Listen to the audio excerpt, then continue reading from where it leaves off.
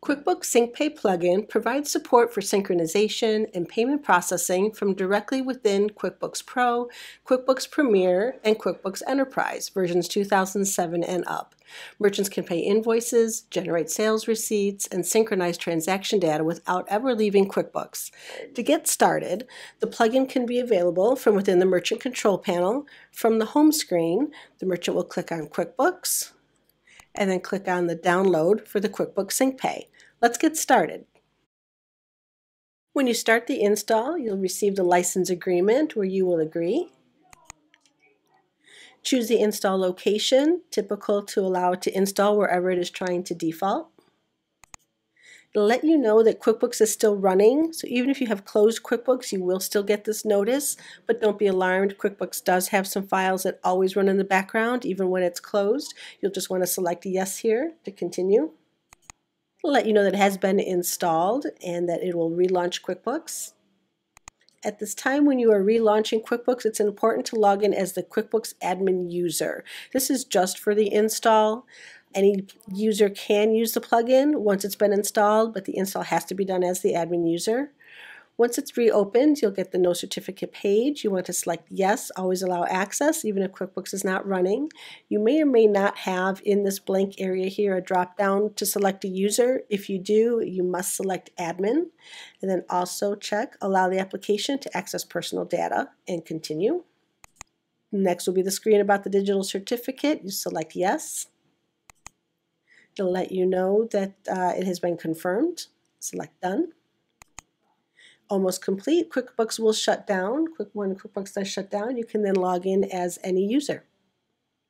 So the last step in the installation process is to configure the plugin. So we're going to do that by going to Customers. Now you should have Payment Gateway plugin as an option. We'll select Configuration. Here's where you'll put in your gateway username and your gateway password, and this communicates then to the gateway. You can also select these three options here. There's another tab that is receipts and signatures. You can select a signature if you're using a supported um, signature pin pad, but um, printed receipts are most popular and you can select which printer you'd like to print your receipts to. You go ahead, back to general, you have everything entered, click update, update complete, you say okay. So that is it for the install. So at this point, it's just a matter of using the plugin. So let's go ahead and use the plugin. So we're going to make a payment against an invoice. So we'll go to customers, back down to the plugin, select process sale.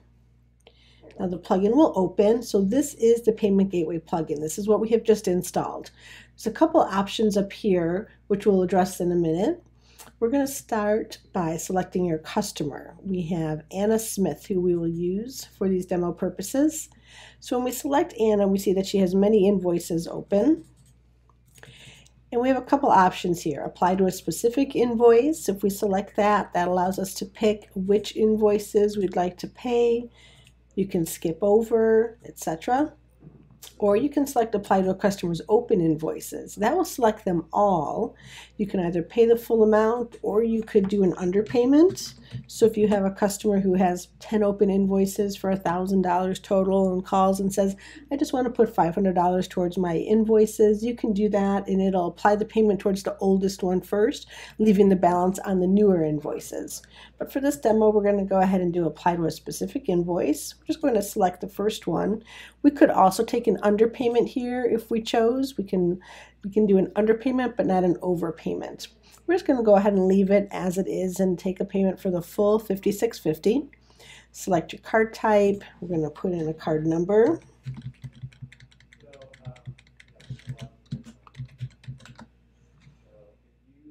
The red asterisks are the required fields.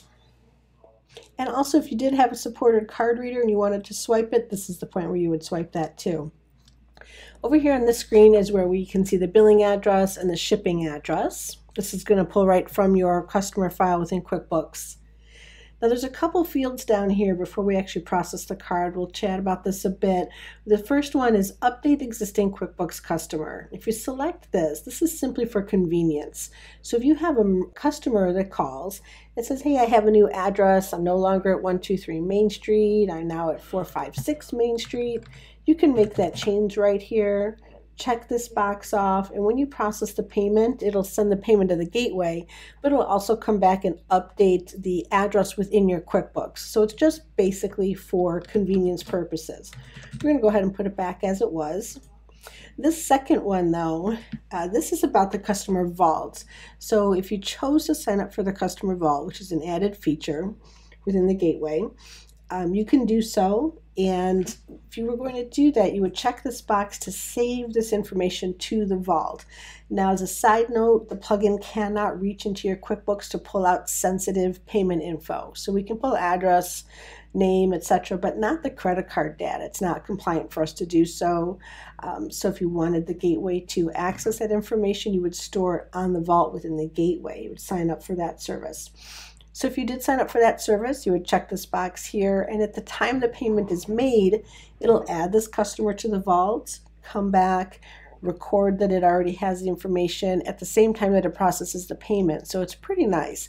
Let's go ahead and do that for this payment here. We're going to add Anna to the vault at the same time that we process the 5650. So now we're just going to go ahead and do process and close.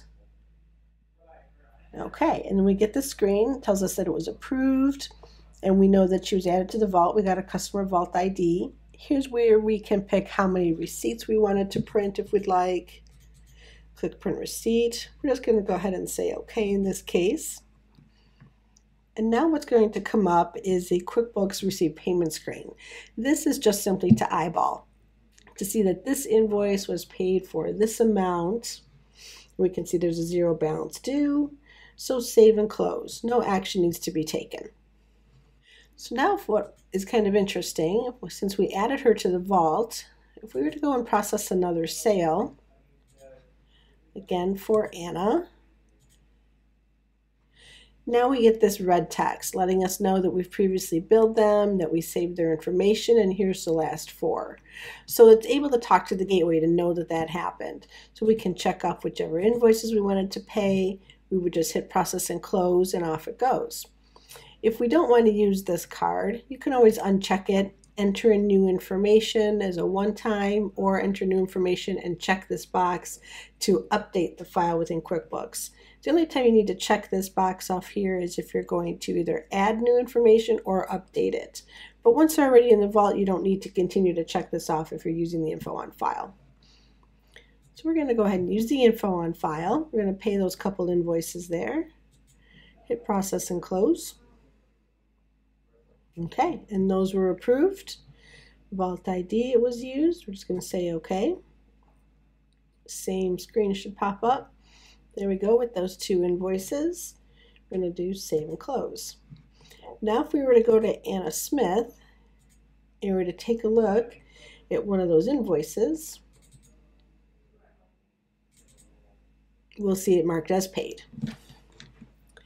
So that is payment of an invoice. The other way to use the plugin is to pay a sales receipt. So let's go ahead and start that. We're going to create a sales receipt. We're going to go ahead and use Anna Smith again. Select our item, put in the quantity, put in whatever line items you want. You can have multiple line items, of course. So we have quantity of 14. We're going to do save and close. Now this box here, you want to make sure that this is not checked. This is proprietary to QuickBooks, so it would process through Intuit if you're already using that. So make sure this box is not checked so that it will launch the plugin instead. So we're going to say save and close, and we'll see that the plugin is going to try to pop up. Tells us our sales receipt was created. Would we like to process? Yes, you want to select process.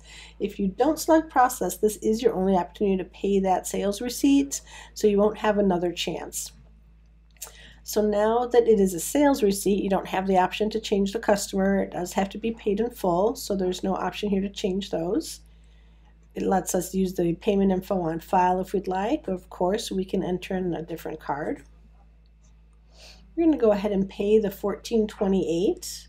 We will select process and close. So it'll pay that payment. It should pop up here. Tell us that it was approved. Again, we get the trans ID. Print receipts, it's all the same. We'll say OK. And now the sales receipt pops up and we can see down here in the memo field we do have the transaction ID so we know that was paid We will just do save and close, no action to take.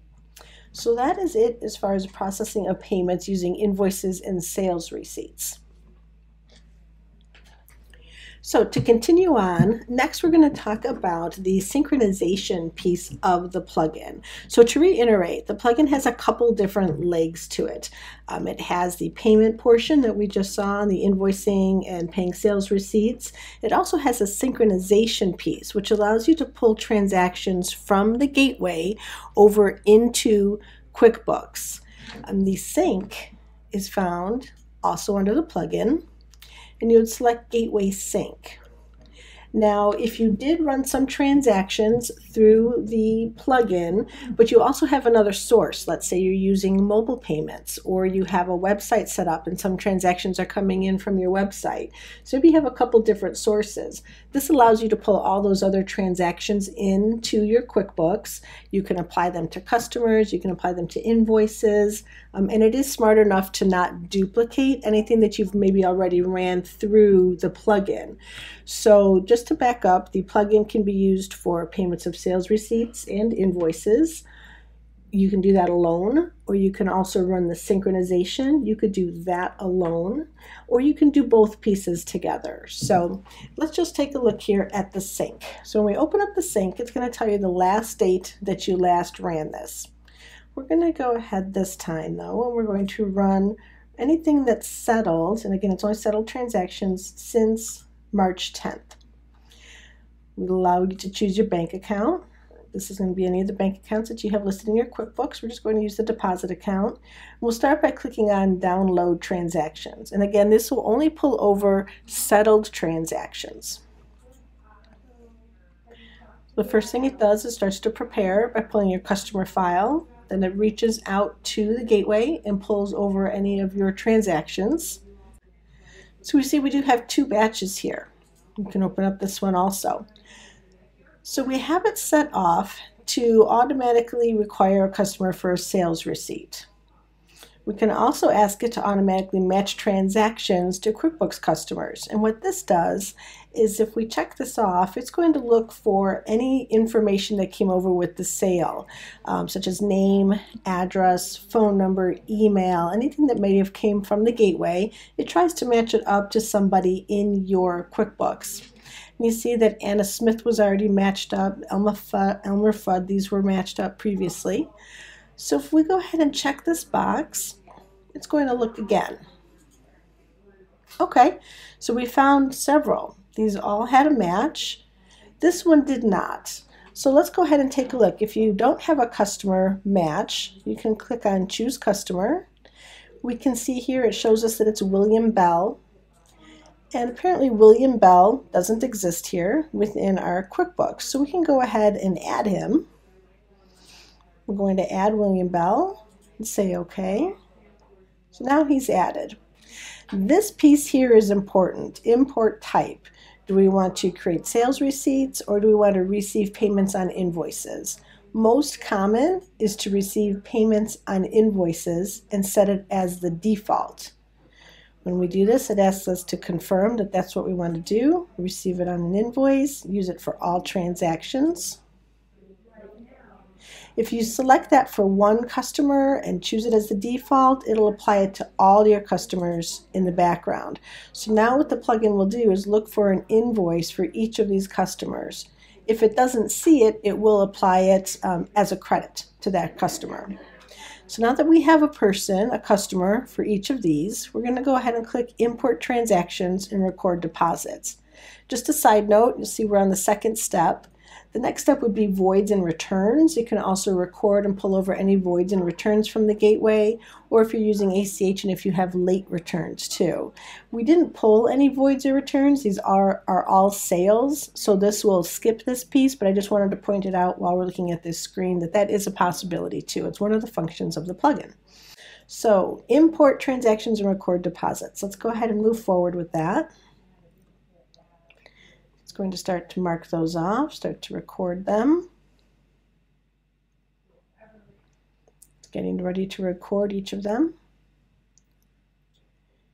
And depending how many you have, this may take a few minutes. This here shouldn't take very long at all. And there we go. Five transactions entered into QuickBooks, two batch deposits were recorded. We'll say OK. The gateway sync is complete. So we'll say close to that. Now, if we had already synced some of those transactions, um, the first couple looked like they had already been synced before, so it won't duplicate, which is really nice. So it'll recognize if it already did run a sync, if you have to pull your date back a little bit because you have something that's said later, it will not duplicate the recordings. So now if you were to go into your chart of accounts and look at that deposit, you would also see those in there. So that wraps it up for the synchronization portion of QuickBooks and the functionality of the entire QuickBooks plugin.